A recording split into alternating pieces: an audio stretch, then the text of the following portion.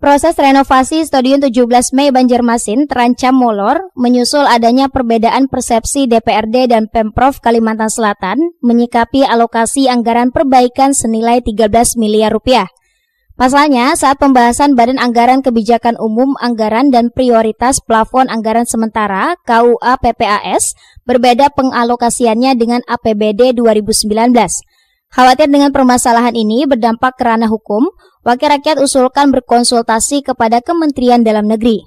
Hal tersebut seperti yang disampaikan Sekretaris Komisi 4 DPRD Kalimantan Selatan, Lutfi Saifuddin, dan Sekretaris Daerah Provinsi Abdul Haris.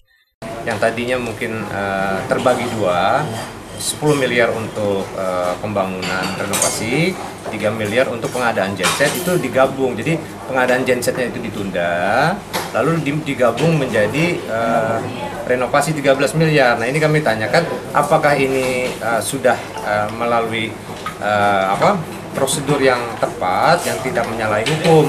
Nah, oleh karena itu tadi kemarin jawab uh, memang ada aturan, ada peraturan yang memang membolehkan membolehkan untuk uh, selagi mungkin ada batasan-batasannya. Nah, batasan-batasan inilah yang mungkin akan kami insya Allah dalam waktu dekat ini satu dua hari ini mungkin seperti janji tadi Pemper kemarin eh, sama-sama dengan kami untuk melakukan konsultasi ke Kementerian Dalam Negeri. Ada ada kaidah-kaidah dalam penyusunan anggaran yang uh, yang dianggap itu tidak boleh uh, menurut menurut apa menurut uh, tim anggaran itu sebetulnya sudah ada aturan-aturan yang seperti itu.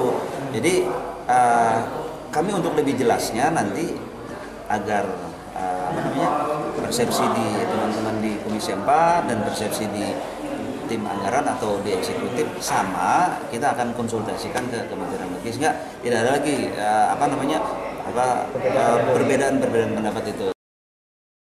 Sebelumnya, renovasi Stadion 17 Mei sebesar 13 miliar rupiah dengan rincian 10 miliar perbaikan fisik, sisanya pengadaan penerangan, akan tetapi ketika rapat Komisi 4 dengan pemerintah Provinsi Kalimantan Selatan belum lama tadi, terungkap bahwa anggaran 13 miliar rupiah tersebut sepenuhnya digunakan untuk kebutuhan pembangunan fisik.